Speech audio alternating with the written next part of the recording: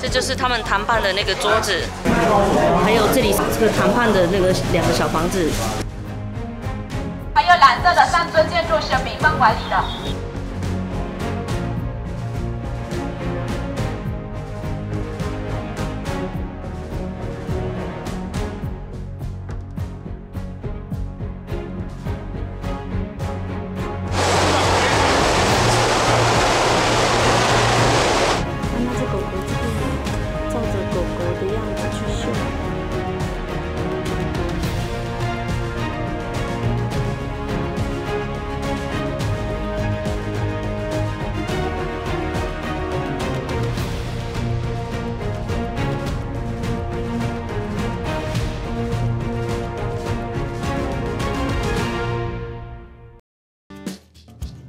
让你们绕一圈看看啊！北朝鲜、北韩的架，跟南韩的五十米不更快了。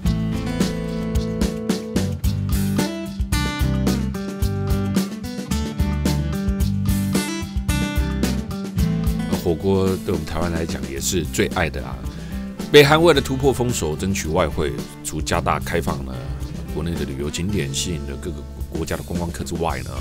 也有不少堪称花招百出的呃外贸措施啊，呃，如在海外设立的国营餐厅啊，国际动画代工啊，出口外劳啦，哎，那个是我们台湾没有开放哦，不然听说哈，这个北韩呢，呃，找到他的劳工呢，哇塞，这个很棒的哦，任劳任怨啊，语言不通而已啊。那知道吗？北韩甚至还如同欧洲的小国般，也发行了邮票来争取外汇哦。我们来看看北韩的邮票吧。邮票这是现在的二零零一九四八二零零八七十年的这个纪念邮票。告诉你，北韩在目前为止啊，是唯一一个你没有办法自由行的地方啊。北韩目前呢，也仅能团进团租啊。那进来这里面一定会有国家的购物点啊。哎呀，这个跟那种。以前的东南亚国家啦，哈，巴西、熊的韩国啦，南韩有无？我们常去韩国会有摄影小弟啊，人参啊，然后眼推销诶，有无？哈，所以团回龙材料就俗的啊。那北韩这一点没有啊，国家经营啊，形象介绍的破海去啊。所以除了呢，呃，知名的开城人参、春香牌的化妆品啊，还有一些天然的药材可以做伴手礼之外，北韩纪念品当中最平易近人的，莫过于北韩的邮票、邮册以及。明信片等邮品啊，那说的也是啊，哎，从北韩买一张邮票回去，哇塞，金光闪闪啊，谁买得到啊？哦，很稀有的。OK，那看完之后呢，我们又来到了一个，哎，真的有符合我们的标题了，勇闯神秘国度，板门店非武装地带，进来吧。三十八度，不是高粱酒哦，而是它的纬度。板门店是位于朝鲜民主主义人民共和国与大韩民国之间的朝鲜非军事区 （DMZ）。它包括了主要举行会谈的建筑物在内的其他周遭的场所，不包含这根人参呐。那板门店与柏林围墙啊，一同被视为冷战时期的象征啊。非武装地带，板门店呢，原先仅是一个小村庄的名字啊。为了便于当时中国军队代表的找寻，在会议场所附近的临时用的木板搭了一个酒馆兼小杂货铺啊，所以金马兰来家得塞杯当杯塞啊，并且悬挂了用汉字书写的板门店进行的标志，从此该地得名就叫做板门店。然后我们现在在这里，之后这个是边线，那这里呢，等一下会看到呢是呃这个朝鲜。它的哦，它这个这里的这个房子村庄，还有这里是谈判的啊，这个谈判的那个两个小房子签协议的。嗯，它这个呢是他们共同的措施。有看到这地图的简介吗？板门店离首尔约五十二公里，离平壤约一百四十七公里，离开城工业区约八公里，为南北之间唯一的接点。并且设有了中立国监察委员会，由瑞士、瑞典、捷克还有波兰四个国家来监督。附近除了会议室之外，还设有南韩的和平之家、自由之家与北韩的统一阁、板门阁等设施。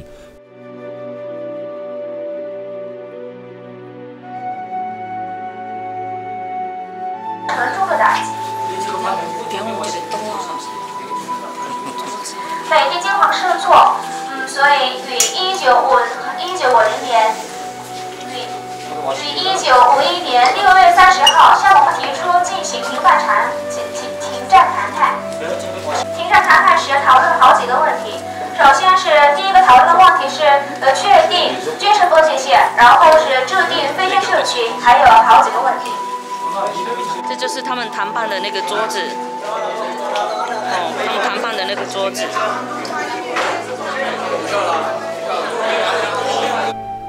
两方开始谈判了。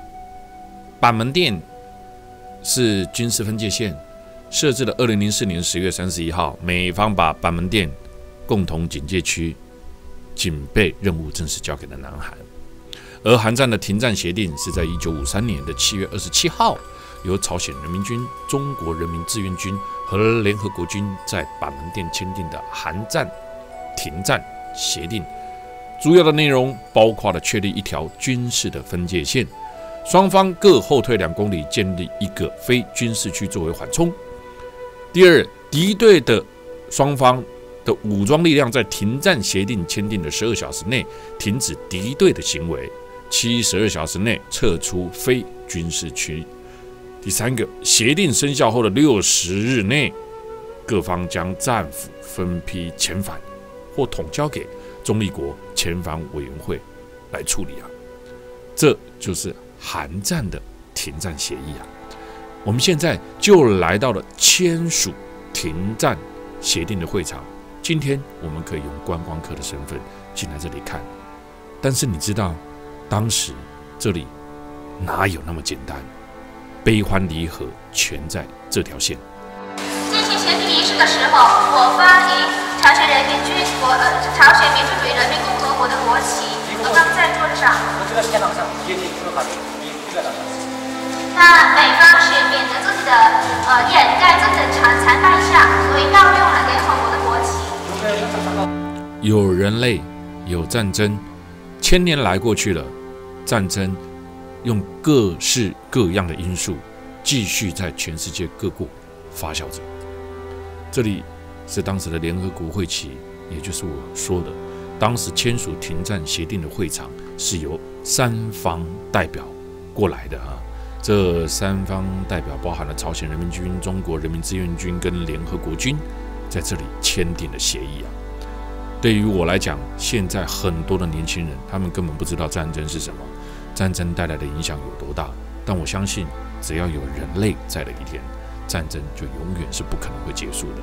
我认为世界和平不，因为人是有私心的，所以怎么可能会有世界和平呢这种事情发生呢？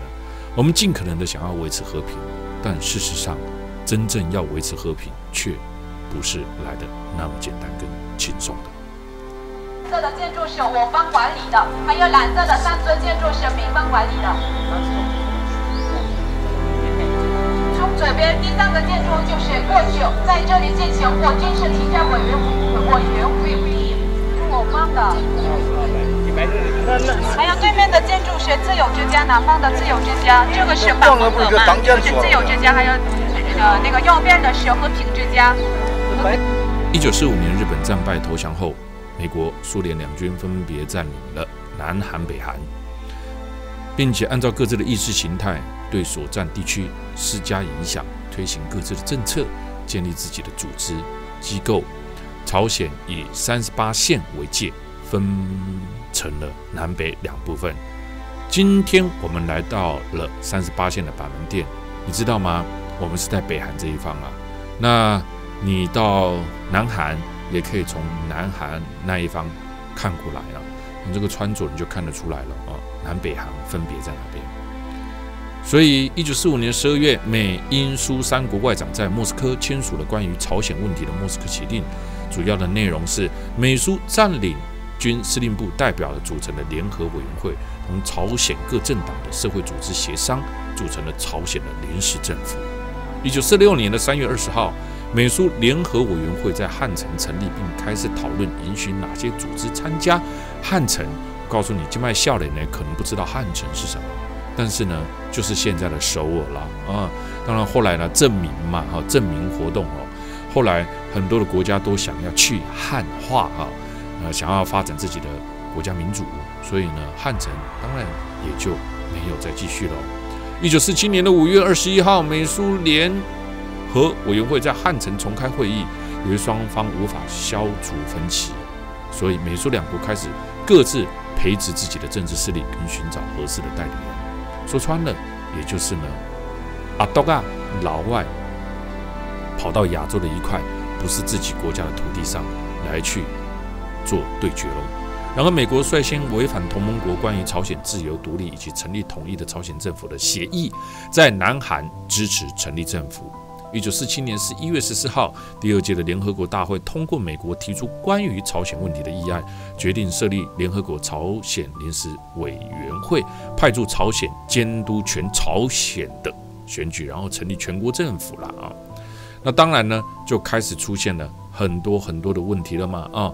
在南韩宣布成立了大韩民国之后，朝鲜北方亦采取了相对的活动。其实说穿了，又是美苏两国在各自的土地上拥立了各自想要拥立的人。从此，朝鲜半岛出现了两个各自为政、互相对立的政府。之后，两个政府呢，围绕着国家的统一展开了尖锐的斗争。从一九四九年。一月至一九五六五零年六月，朝鲜南北双方在三十八线附近共发生了两千多起的纠纷，各种武装的冲突不断的升级，终于在一九五零年的六月二十五号，大规模的内战在三十八线上爆发了，著名的韩战开始了。因为从一九四六年起，苏联就培训了几千名的北韩军官，每个师还配有十五名的苏军顾问，再加上大批曾经在中国东北参加过中国抗日战争跟内战、有丰富实战经验的官兵，北韩军队的实力跟南韩就没有办法匹敌喽。南韩的军队根本没有招架之力，所以基本上韩战也可以说美国基本上是输掉的。我们现在。首都的平壤街景，也来顺便看看韩战的简介。来吃特色餐喽，特色同晚餐，餐桌上使用的碗、筷、勺子都是纯铜制作的。小铜碗上面还有个纯铜的盖子，几百个这样金光相向的这个铜碗，统一摆在这个桌面上，看上去非常的壮观。那揭开盖子之后，里面呈现的都是朝鲜各式各样特色干菜，还有呢拌菜美食，很吸引人的胃口。年轻人呐啊，中老年人不知道吃的习不习惯啊，呃，带来一种感官享受啊。一个人呃七八个铜碗啊，那你知道吗？一桌如果哦十个人一丢上去，那不就是将近快百来个啊？所以这个摆上去，有时候碗一堆啊，在上面还有生七八刀啊，啊，搞不清楚啊，哪一个碗是？你看这样一摆，那么吃到隔壁的都有，道道地地的韩国特色小吃啊，真的。所以啊，韩国的吃啊，就是很两极化啊，有的人爱的不得了啊，有的人呢是很不能习惯，很不能喜欢啊。嗯，人参鸡有没有？鸡里面还伴随着这个米饭啊。鸡炖的，一咬就化开来了，很好吃啊！我是没吃了啊，但看起来好像很好吃啊。来，我们每一天呢，呃，都会在街道上开车啊，就可以看得到啊这些淳朴的街道。你看那些人们很守交通规则，有没有啊？这你说原始也还好，你说不原始，哎，那也很特别啊。反正呢，无论如何，朝鲜有朝鲜的街道风味啊。来，我们现在来到朝鲜半岛历代王朝最高学府高丽博物馆。朝鲜开城高丽成军馆，联合国教科文组织世界遗产委员会将开城的历史遗迹区正式列为了世界文化遗产。这片区域完整的展现了千年之前高丽王朝的历史风采。开城的高丽成军馆位于朝鲜民主主义人民共和国的开城市区，所以我们现在是来到了开城。高丽博物馆最初为十一世纪初，呃，高丽国的行宫，名为大明宫，当时曾作为外国来宾的住宿地，又称作叫顺天馆，后来改作宣传儒教的真物馆。一零八九年，最高教育机关国子监迁到了这里，改成了成军馆，所以它就是朝鲜半岛历代王朝最高的学府，在高丽博物馆的成军馆。开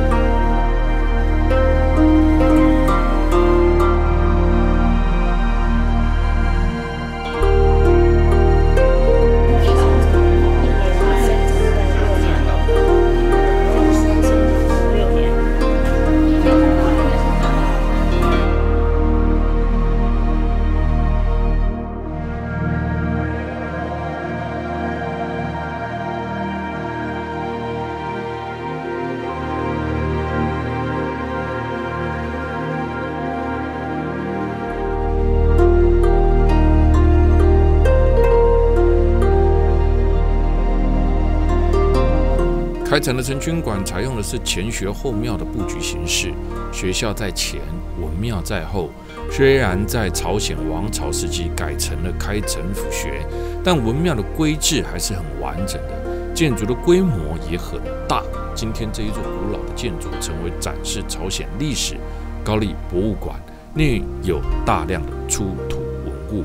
在一九八七年建造，它设有十二栋的主要建筑物，以及六栋属于高丽的陈军馆的附属建筑物，总面积呢高达了七万平方米，拥有超过了一千件历史遗物。馆外设有十三处的观赏文物，亦有石塔、石碑以及石灯等展示品。以前叫高丽啊，后来朝鲜取代高丽之后。太祖前三年、定中二年、太宗前四年，仍然当时他的首都啊，就是开城。开城是当时的国都。那此间开城呢，成军馆呢，仍然在当时是国学哦。所以你在这边就可以看得到传统的儒家思想。我对于儒家思想有自己的概念啊。我觉得我们比较彬彬有礼啊，呃，比较。懂得礼仪啊，我觉得跟当时的儒家思想都有很大很大很大的关系啊。所以现在来到高丽博物馆，简简单单的看一下当时韩国，我们现在叫韩国了啊。那也因为分成南北，叫南韩、北韩嘛。对北韩来讲，新一个韩国，朝鲜就朝鲜了啊。那在朝鲜之前就是高丽喽。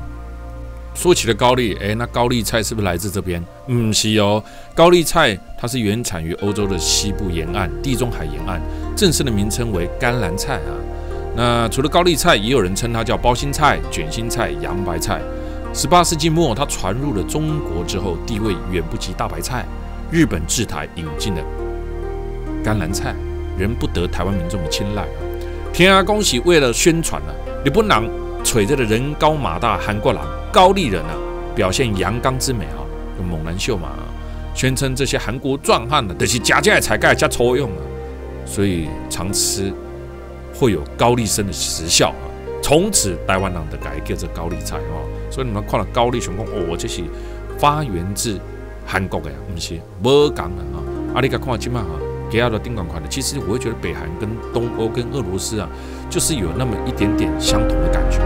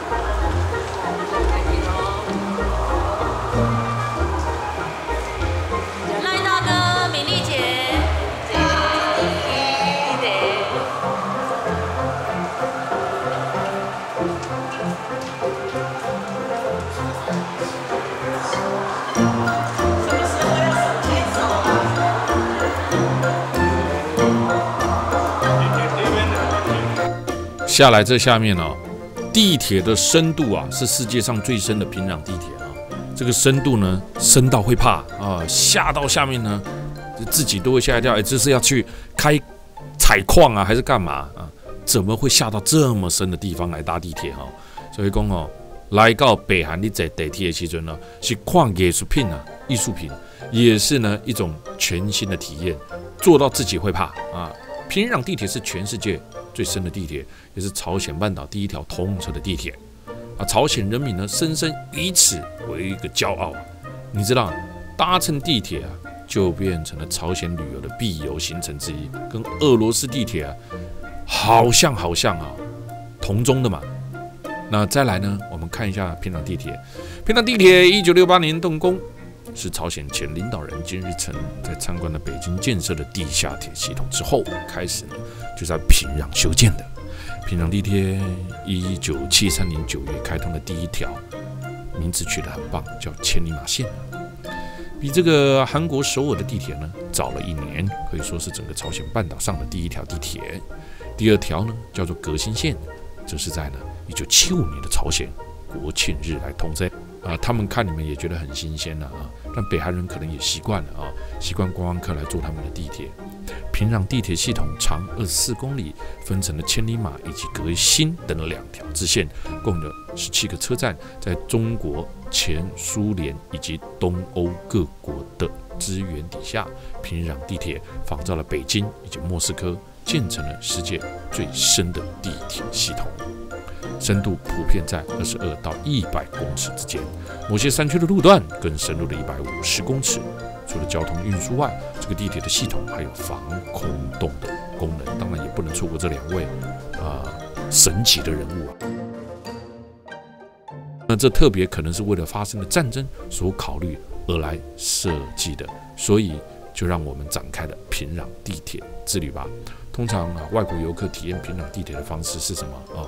有他们家再能告每摸着某一个地铁站啊，打个耳枪，然后呢，再有这个带领我们的导游带的带领着大家一起搭搭一站地铁啊，然后呢，顺便来看看在这呃很深的地铁站底下，人家怎么去呃做这一种所谓的呃怎么说呃地铁的这个艺术设计的。看有多棒啊！充满了马克思主义，充满了共产主义，也是一种特色哦。我对于呃世界各国呃所展示出来的风土民情呢，基本上是不排斥了啊，不排斥啊。除非他有像是印度的种姓制度，我不喜欢呢。不然剩下的基本上我并不会对于呃民族主义或者是共产主义呢有强烈的。呃，特别的个人观感，因为我觉得，呃，这不是我们一个人能够去改变的啊，也能够去影响的，因为每一个人喜好各有不同嘛啊。但当然，当然，当然呢，我是喜欢民族主义的了啊，自由民主才是才才是王道啊。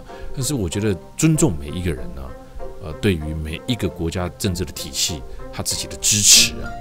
来，那我们现在呢，慢慢的，慢慢的啊，我们要搭什么？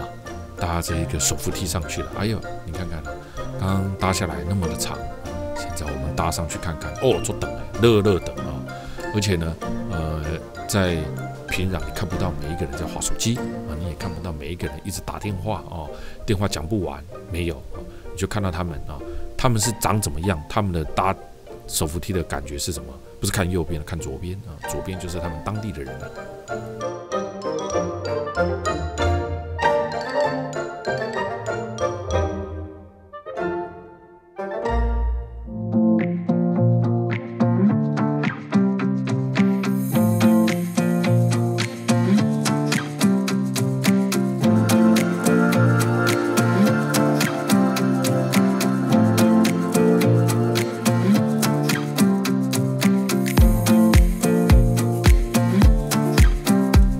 还有来喽，北韩的刺绣中心啊，在北韩呐，你倒是可以放心啦，它太多的东西啊，基本上呢都是官方指定的啊，不管任何的商品都是经过官方认可。的背面。现在看它的背面。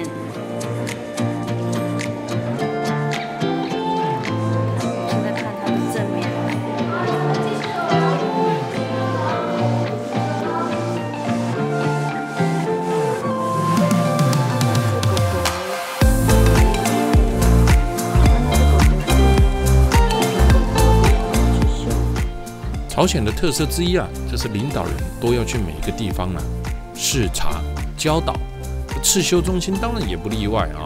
刺绣中心也可以看得到领导人来这边做什么？来这边呢？呃，视察的照片啊，尤其是在这里面呢，你可以看得到聚精会神的工作人员啊，这些都是手工、人工的啊，而且也不知道是不是这个。纬度跟气候的关系，朝鲜的女孩子呢，皮肤是特别的白。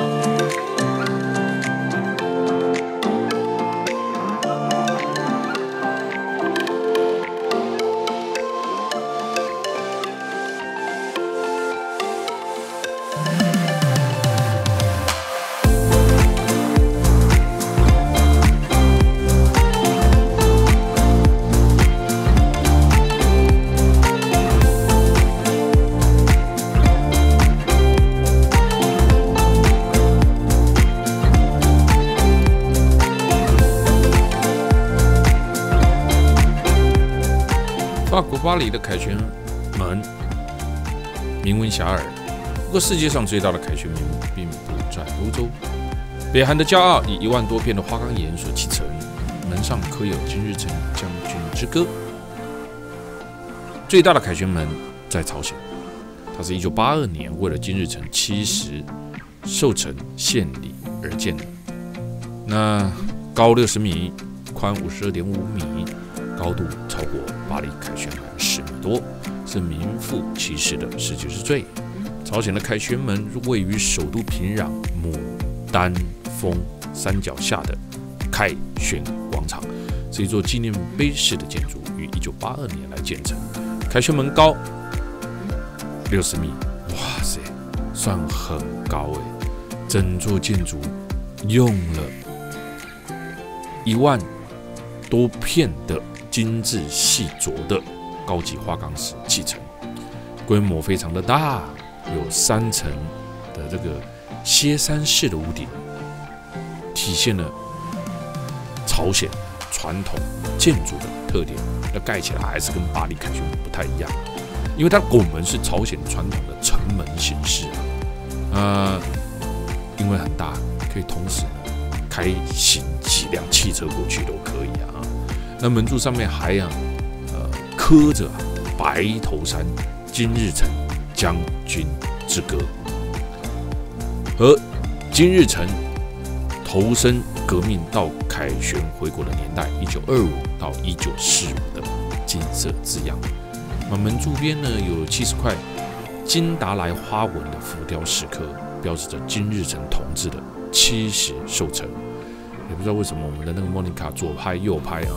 那里有特写这里有没有看到啊？丁管挖到贡啊，一九二五到一九四五的金色字样啊，这个是金日成投身革命到凯旋回国的这个重要的年代啊。那旁边呢，还有呢，朝鲜人民遵循金日成教诲为祖国建设积极奋斗的浮雕群像。哇，他们的造神运动教中多，自叹不如啊。